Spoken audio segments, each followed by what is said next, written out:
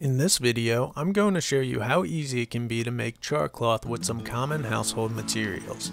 Char cloth is a great fire starter that can really come in handy. It's made with cotton fabric and will take a spark extraordinarily easy to create an ember.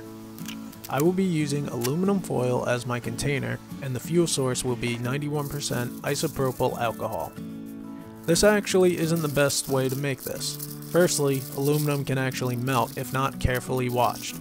And secondly, isopropyl alcohol does not work as well as ethanol, methanol, or denatured alcohol.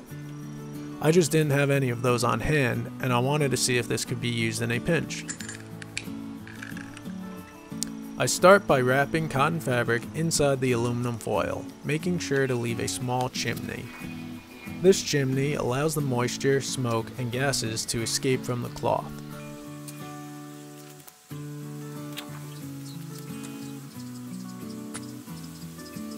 I moved it around on the stove because I was afraid of the aluminum melting, like it has done in the past.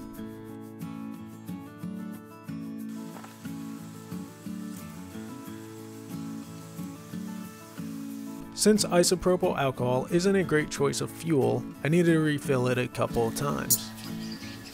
After a little while, the smoke began to catch fire.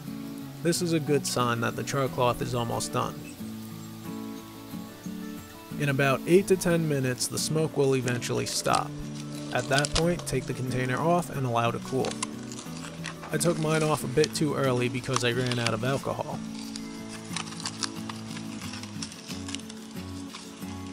As I open it, you'll see that some converted into char cloth, but there was quite a bit that wasn't done.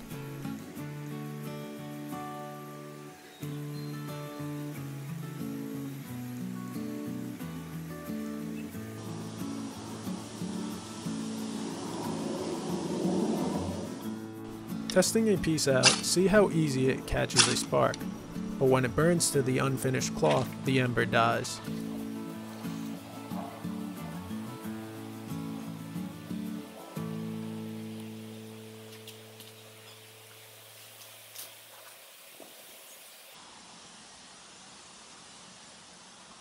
This piece of cloth can be cooked some more to fully convert it into char cloth at a later date. Well, that's it. I'll see you in the next one.